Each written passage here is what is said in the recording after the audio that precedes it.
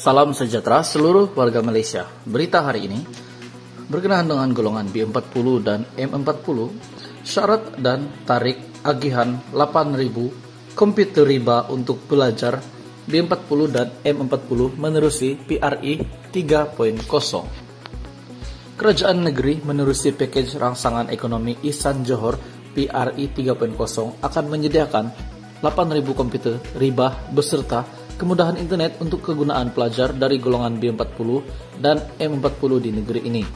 Pengerusi Jawatan Kuasa Pendidikan, Penerangan Warisan dan Budaya Johor, Mazlan Bujang berkata, inisiatif tersebut dilaku, dilaksanakan dengan peruntukan berjumlah RM 25 juta Program itu adalah sebahagian daripada peruntukan RM 126,86 juta disediakan kerajaan negeri menerusi PRI 3.0. Ikuti perkongsian ini untuk maklumat yang penuh, lanjut syarat kelayakan dan tarik akhir tarik agihan komputer riba kepada pelajar yang layak.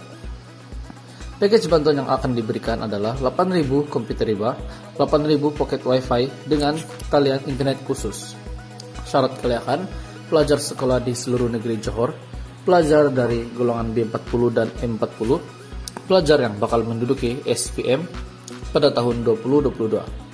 Tarik agihan adalah pada awal bulan September 2021. Dijangka selesai sepenuhnya pada November 2021. Pelajar yang layak menerima bantuan ini akan dihubungi oleh pihak sekolah tertakluk kepada sekolah masing-masing. Sekian berita hari ini, terima kasih.